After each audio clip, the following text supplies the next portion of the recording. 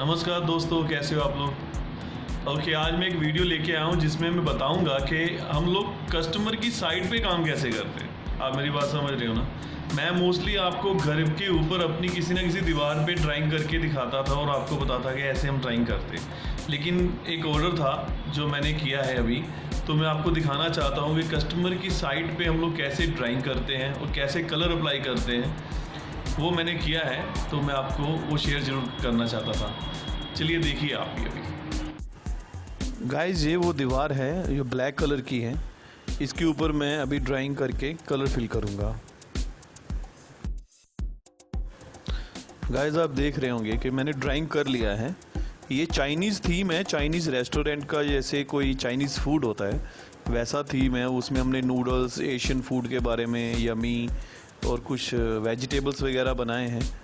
और जूस भी ये साथ में सेल करते हैं उनकी भी कुछ ड्राइंग्स हैं। अभी इसमें मैं कलर शुरू करूँगा। ओके okay, गाइस मैंने कलर करना शुरू कर दिया है। आप देख सकते हैं मैंने सबसे पहले ऑरेंज कलर से स्टार्ट किया है।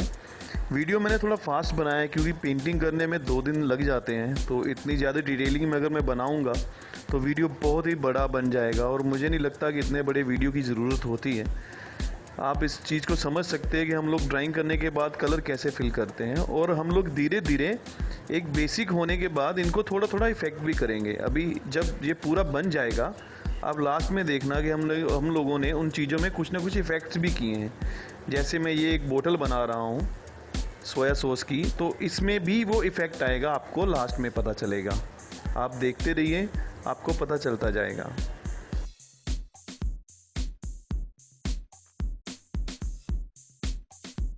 ये कैलीग्राफी वर्क है और ये भी मैं आपको इसके बारे में भी पूरा ट्रेंड करूँगा आगे आने वाली वीडियो में।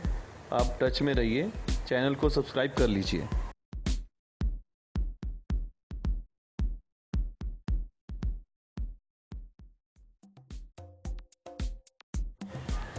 साइट्स पे हमें काम भी थोड़ा जल्दी करना होता है, क्योंकि क्लाइंट को साइट जल्दी खाली करके देना होता है। हम अपना काम करके चले जाते हैं तो उसके बाद ही उनका शॉप का सेटअप लगता है। इसलिए मैं ज़्यादातर वीडियो आपको डिटेलिंग में नहीं बता सकता, जो कि मैं साइट पे काम करता हूँ। फिर भी मैं जितना हो सकेगा कोशिश करूँगा।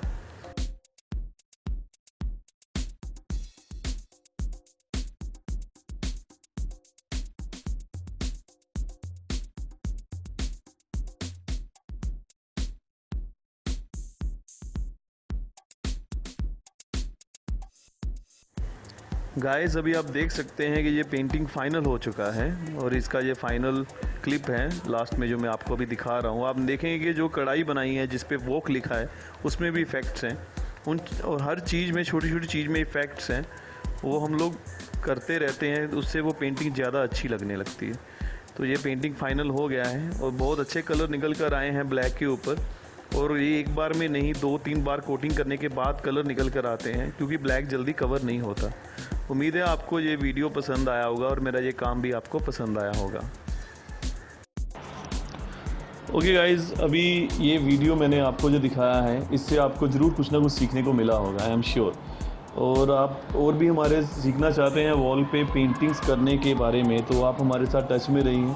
आप पहली बार हमारे चैनल पे आए हैं, आपने अगर हमारी वीडियो पहली बार देखा है तो हमारे चैनल को सब्सक्राइब कर लीजिए, क्योंकि अभी मैं जल्द ही आने वाली वीडियोस में और भी टेक्निक्स के बारे में और पेंटिंग वॉल पे कैसे बनाते हैं उसके बारे में ज़्यादा से ज़्यादा जानकारी शेयर करूँगा। चलिए मिलेंगे अगली वीडियो में। नमस्कार।